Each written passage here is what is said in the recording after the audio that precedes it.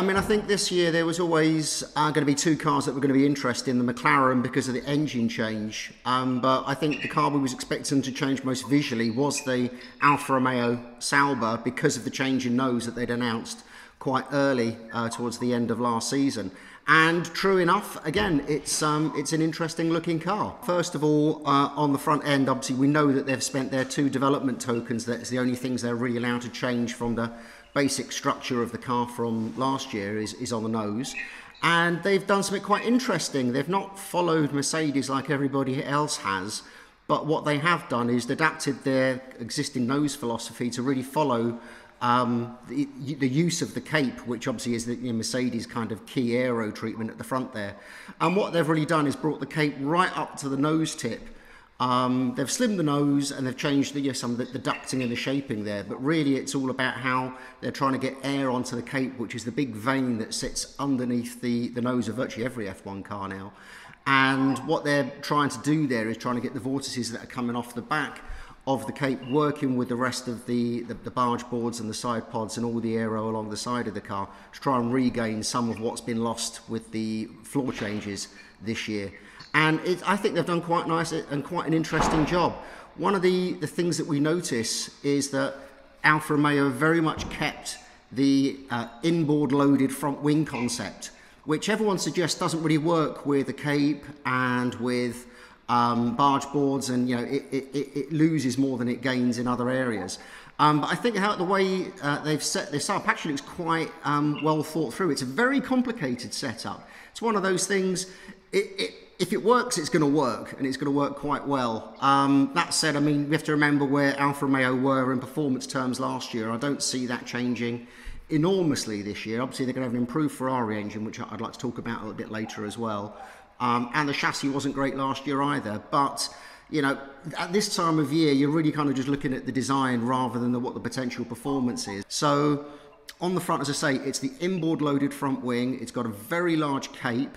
Um, and even where the, the, the, outer parts of the wing then meet the central part, there's this big step, which we saw a little bit last year, much, but much bigger. That with a much larger flap area creates a huge amount of um, uh, airflow to create the Y250 vortex, which is one of the big key factors in pushing the front tyre wake away from the rest of the car. Uh, and along with the cape that's got lots of airflow hitting it, this looks like a very powerful setup. So I think the nose is the key thing that people will notice. But then as you go back down further down the car, I mean, everyone's going to have massively complex barge boards this year, and they're going to be doing lots with uh, trying to push airflow down and also around the front part of the floor. That will create both downforce, but also create the, the flow setup along the rest of the floor to try and regain what was lost with the regulation changes. So there's quite a lot of interesting stuff there. Um, and then when we come to the mid and the back part of the car, so this is the first chance we've had to see the 2021 Ferrari engine. And if you remember last year, Ferrari's engine was a big disappointment because of lots of changes they had to make to uh, meet regulations they lost a lot of power and they didn't really have the chassis to match it at Ferrari. But it sounds as though they've bounced back with a much better power unit this year. Now you have to take all of this sort of winter story about engine performance with a little pinch of salt because a lot of it does come from the Italian media who will either try and build Ferrari up or kind of put them down. This year it's been, you know, building them up. Everything is absolutely bomber. You know, it's going to be a fantastic engine. They're going to call it the Superfast. Lots of uh, nonsensical engineering terms being thrown around about how it's going to suddenly become so much better. But uh, we can see that Ferrari have changed areas around the top end of the engine. So we can see in the Sauber bodywork, or so the Alfa Romeo bodywork, uh, bulges around the inlet plenum above the engine and also in the cooling package. Now we've already seen a sneak picture of the Ferrari and we know that they've got a much bigger air inlet around the roll hoop for this year. Um, which suggests that they're trying to put more cooling along the centre of the car, basically above the engine and the gearbox, and make the side pods smaller. Um, and I think some of this will be related to the intercooler, which we also is something that we understand that Mercedes are going to be doing. Um, one way for Ferrari to gain a little bit more performance is actually to use um, a, a, composite, or sorry, a hybrid, I suppose you would call it, a, a two-type intercooler system. And I think this is where we're going back to. They did it in 2016, where they have both a water to air and an air to air intercooler. Both have benefits, but the air to air intercooler really brings the temperatures down uh, for the charge air going back into the engine, and that's what really helps create power. So I think both Ferrari and Mercedes are doing something around that this year, and so far all the evidence we've seen on the bodywork tends to back that up. But we won't be until we reach Bahrain when we see the car stripped down uh, that we'll actually see what's under the skin. But certainly Sauber look as though they've made changes around, around that sort of top end of the body. Side pods, as everyone will be this year. Um, I don't think Sauber have gone quite as far as we uh, expected, but again, we'll, we'll see what actually happens as we come to the first races.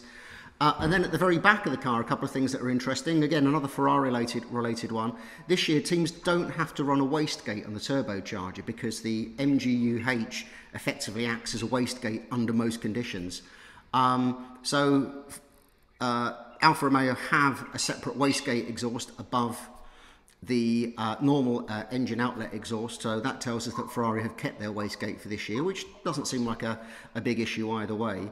Um, but the other thing that's quite telling on the Alfa Romeo is they've gone for very much a huge T-wing at the back of the engine cover ahead of the main rear wing. And this reflects the regulation changes. So changing the floor, um, cutting that little triangular section out in front of the rear tyres by playing around with the diffuser strakes and with the strakes that are and the cuts that you're allowed along the edge of the floor, teams are losing downforce. So everyone's going to want to put lots of downforce back on the car, even if it's dirty downforce that comes with a big drag penalty. And the T-wing is a classic example of where you can create some downforce in a fairly uh, brutal way in terms of drag production.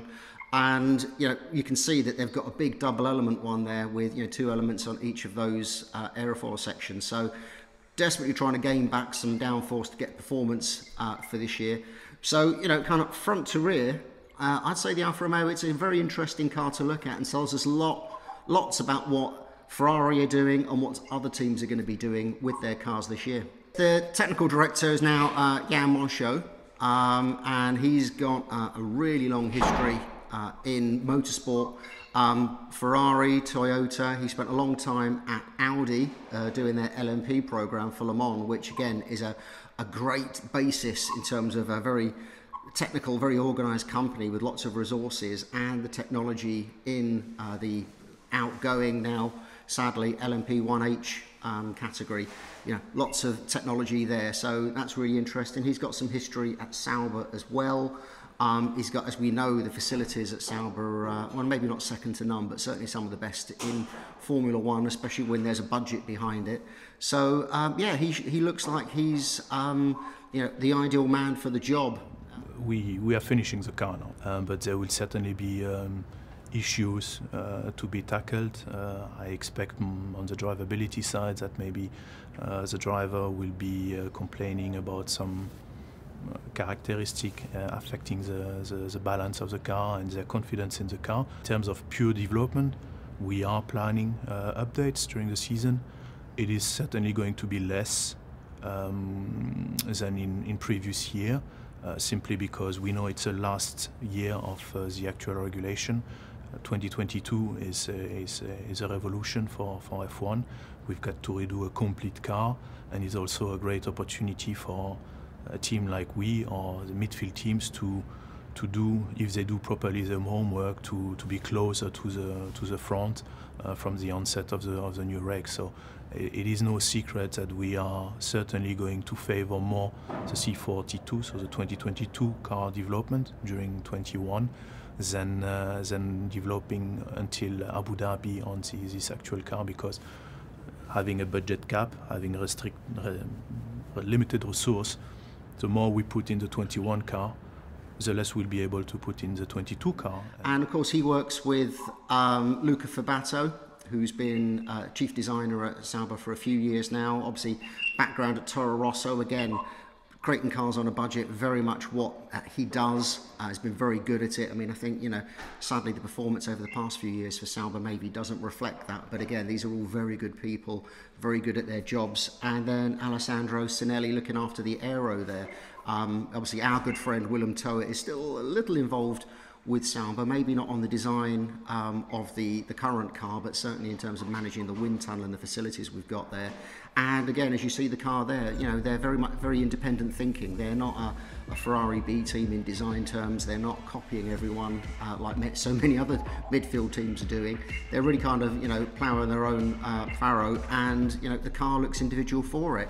Whether the performance comes with that sort of independence, you know, I think the, you know, the season's there to uh, be the final arbiter of that. But um, you know, I think it's good that we do have teams like Alfa Romeo, Sauber, really doing their own thing in the sport and just making something that looks a little bit different from everybody else. Since the end of the last year, obviously, um, there was Christmas was pretty soon afterwards. Uh, New Year, and then we came back to home in Switzerland and just uh, you know spent time with family. The kids been in kindergarten, doing normal things.